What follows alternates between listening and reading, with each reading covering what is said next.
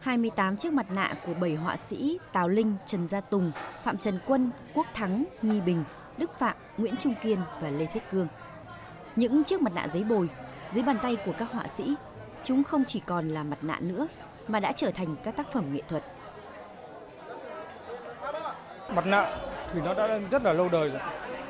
Nhưng mà khi mặt nạ mà đưa lên được một cái bước hơn cao nữa là tác phẩm nghệ thuật thì chúng tôi muốn đưa tác phẩm này gần đến cho công chúng và nhất là gìn giữ cái bản sắc dân tộc ờ, và cho mọi người được xem và được hiểu cái nền văn hóa dân tộc Việt Nam nó sẽ phong phú như thế nào.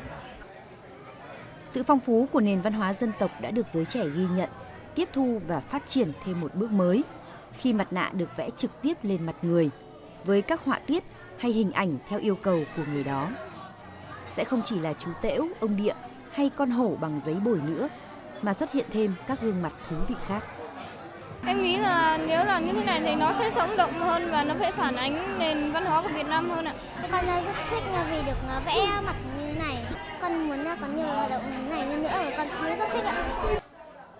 Triển lãm mặt kéo dài trong 3 tuần đến hết ngày 10 tháng 10 Tiền bán các tác phẩm mặt nạ nghệ thuật sẽ được quyên góp cho chương trình thiện nguyện, xây dựng trường học, lập tủ sách ở trường tiểu học Suối Bao, huyện Phú Yên, tỉnh Sơn La.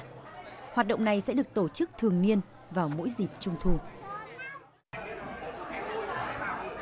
Trung thu không chỉ dành cho con trẻ mà Trung thu còn là dịp để mỗi người lớn được tìm về với tuổi thơ, được tìm cho mình một chốn bình yên. Mỗi người chúng ta mỗi ngày có một tâm trạng cảm xúc khác nhau và có một gương mặt khác nhau. Còn tôi, ngày hôm nay, tôi lựa chọn cho mình gương mặt này. Chúc quý vị và các bạn một mùa trung thu hạnh phúc và vui vẻ.